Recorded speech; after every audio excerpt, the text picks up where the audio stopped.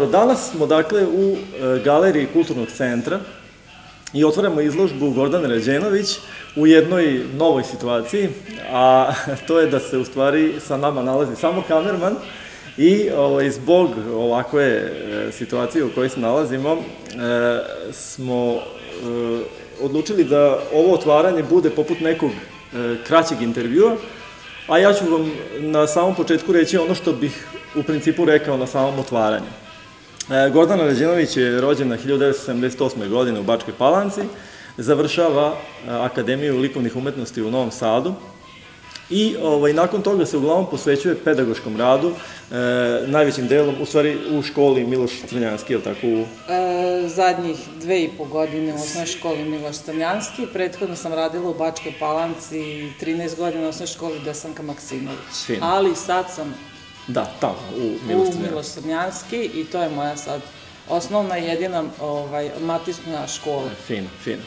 E, učestvovala je na e, grupnim izložbama, međutim ovo je prva njena samostalna izložba i izlaže nam e, 13 platana od kojih smo napravili ovako postavku tako da e, fokus stavimo na ona platna na kojima je e, ostvareno e, stilsko jedinstvo, a to su ova platna koja ovaj, sada vidite iza nas i još par platna na koje ćete kasnije videti, bit će snimljena kamerom. Na tim platnima ona reinterpretira, odnosno možda je bolje reći da nalazi inspiraciju u delima koja ovaj, najčešće vidimo e, početkom 20. veka u takozvanim istorijskim avangardama i lako prepoznajemo e, uticaje kubizma i futurizma e, kao je tako pravaca koji su njoj e, očigledno privukli pažnju. E, po nekom ovako njenom e, senzibilitetu slike koje se nalaze iza nas, a to su To su uglavnom pejzaži, e, uključujući i jednu abstrahovanu e, kompoziciju Svete Trojice, koja je rađena po ugledu na delo Andreja Rubljova. E, mi vidimo u stvari da je na njima ostvarena jedno jedinstvo u smislu i palete, zatim primena tih faseta koje su karakteristične za kubizam i futurizam, tako, su sprovedene vrlo ovaj, dosledno i u, u nekim našim razgovorima ono što, što će biti jedno od mojih možda, u stvari sigurno jedno od pitanja će biti to e, što je jasno da zbog toga što su većim delom ova dela nastala u ovom periodu izolacije, je li tako, e, rađena su po fotografijama. I E, možda bi mogli i odmah da to ovaj, pitanje postavimo, a to je recimo e, šta misliš, e, šta su naravno prednosti, a šta su mane tog rada po fotografiji, s obzirom da znamo da nije to ništa, ovaj, da kažem, e, nesvakidašnje, mnogi da. slikari danas fotografišu svoje motive ili modele i zatim u studiju odnosno ateljevu, e, rade finalne kompozicije. Nekada su se oslanjali, jel tako, na skice rukom, s obzirom, jel tako, da je, to je da. bio neki davni period, ali očigledno je da tu može biti nekih e, prednosti može biti nekih malo. Pa možda, možda je to da nam kažeš nešto samo o tome. Pa evo ovako, u svakom slučaju prednost je to što kada napravimo skicu ili fotografiju, mi se ne obaziramo na vremenske uslove, dakle pošteđeni smo i hladnoće i toplote, e, ono što smo doživeli, što smo e, tako reći upili iz prirode ili već rada po modelu, dakle mi prenesemo u atelje ili sobu tamo gde radimo. I ovaj, u tom smislu je mnogo praktičnije, ali naravno da je svakako upečatljiviji doživljaj kada si na licu da. mesta, ali s obzirom da su to e, radili umetnici u 19. veku koji su imali jako puno vremena, yes. izlazili bez stresa, da. e, današnji, 20, e, znači, današnji 21. vek jednostavno to ne, ne dopušta. Da. Tako da... Fino. E, to je to. Razumem šta, šta hoćeš da kažeš.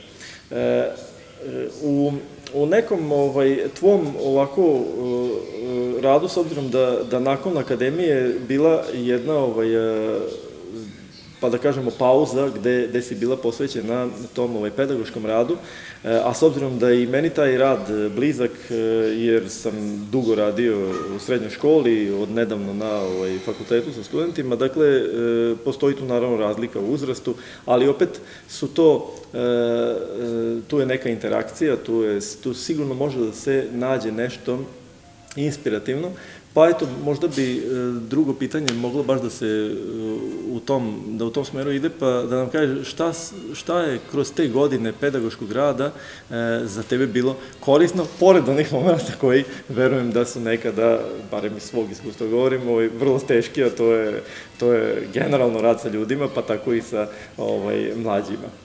Pa u onolikoj meri koliko sam imala vremena, pošto sam da.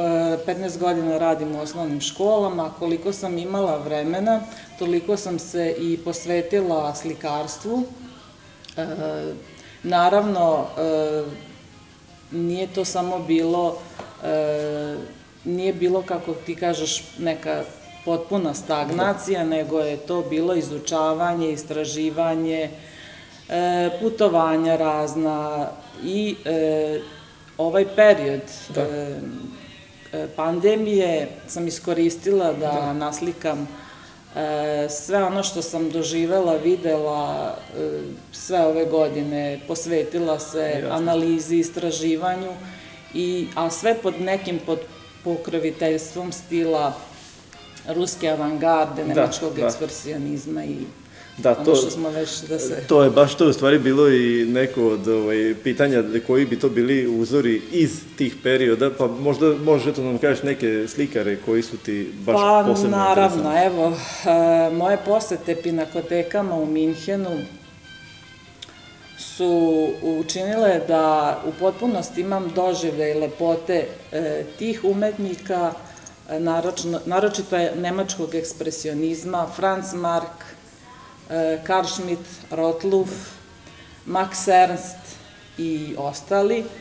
E, I to je nešto što na mene ostavilo snažan utisak i što se možda negde i ovaj, o, nazire u platnima, naravno u moje režiji. da, da, pa, to se podrazume. Da. E, u ovaj, onome što možda ovaj, sledi, e, to je sada situacija gde sa ovom prvom samostalnom izložbom ipak je to neki ovaj, moment u kojem e, umetnik kao tako samostalno nastupa i u tom smislu ovaj, je to neka premijera, pa me zanima e, od platana koja su ovde izložena, koje bi to platno bilo za tebe ili koji, možda više dela, e, koja bi to bila dela koja, kojima ćeš se vraćati, odnosno koja će biti kao neka smernica za dalji rad? Da, pre nego što ti odgovorim na ovo da. pitanje, ja bih rekla da sam kao tinejdžerka odlazila na časove crtanja i slikanja kod Viktora Zuka i e, Ire.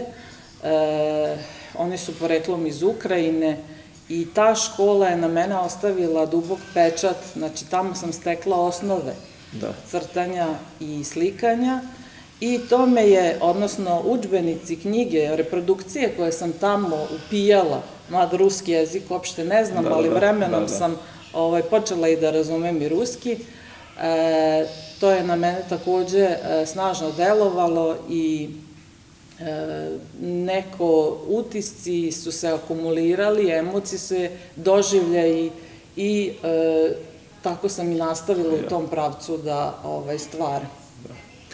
E, hvala ti na odgovorima. Mm, e, s obzirom da bi sada trebalo reći nešto kao da proglašavam izložbu otvorenom, ja u stvari bih hteo da pozovem, jel tako, sve ljubitelje umetnosti da u jednom od narednih dana, e, ovaj, kakva je u stvari situacija sa satnicama? Da li znamo... Pa, da... sada, dakle, svaki dan do 13. od 8 do pola 9 uveče je otvorena za posetioce. Otvorena je za posetioce, slobodno se javite idete e, portiru dole, pošto je takva vanredna situacija i dođite i pogledajte moje slike. Hvala, Hvala Gordana i ovaj, dobrodošli.